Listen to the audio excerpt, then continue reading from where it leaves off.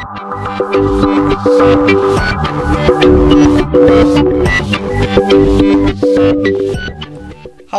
this is Harry Mass Communication. In this video, I'm going to show you how you can do a hard factory reset to your Samsung Galaxy Tab.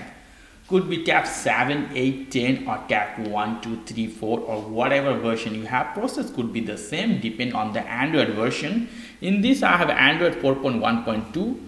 So let's see how can do hard reset on this one. First, you need to unlock your tab.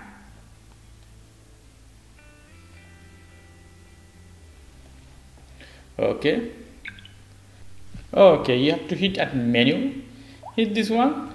At menu you have to find this option. It's called setting. Hit this one. At setting you have to find this option. Backup and restore. Hit this one okay here the first option backup and reset backup my data backup my account automatic restore and factory data reset the last option is the factory data reset. Let me focus a bit.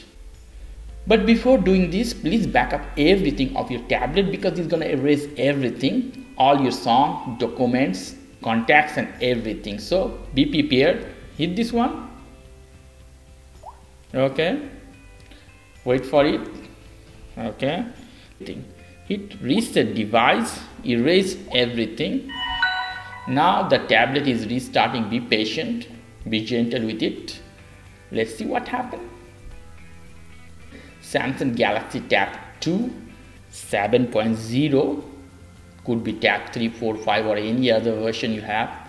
Okay, now we can see Android is here, the robot, and something is happening into his stomach.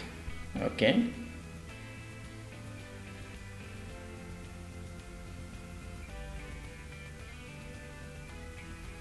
okay it's done so now you have to select language okay I have to choose language and you have to do all the setup as you bought the tablet for the first time so this is hard factory reset to Samsung Galaxy Tab any version. If you like this video, please do subscribe. If you have any question, leave me as a comment. I will try to answer you as much fast as possible. As always, for more information, go to the Aires Communication, www.airescomunication.com. Have a nice evening. Bye.